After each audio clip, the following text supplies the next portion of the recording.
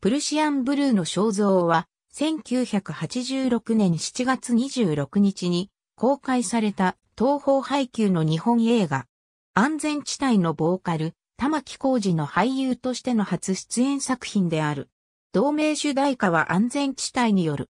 メガホンを取ったのは、当時キティグループの社長であった、多賀秀則である。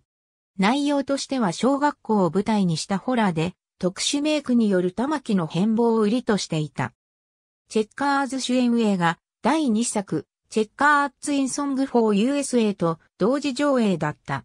当時、玉木は大王製紙の CM に出演しており、この映画にも大王製紙がスポンサーについた。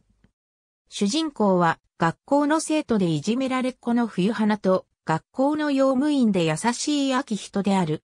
秋人は15年前に校内で起きた旧友の事故死が原因で失語症となり、現在に至るまで喋ることができない。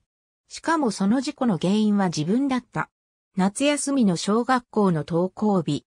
建て替え予定で閉鎖されている旧校舎に隠された秘密とは冬花を待ち受ける運命とは冬花に好意を寄せる同級生、春彦は冬花を救うことができるのか。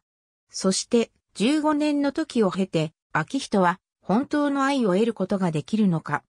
1986年8月10日に、キティレコーズからプルシアンブルーの肖像オリジナルサウンドトラックとして発売された ISBN40 億1009万8295。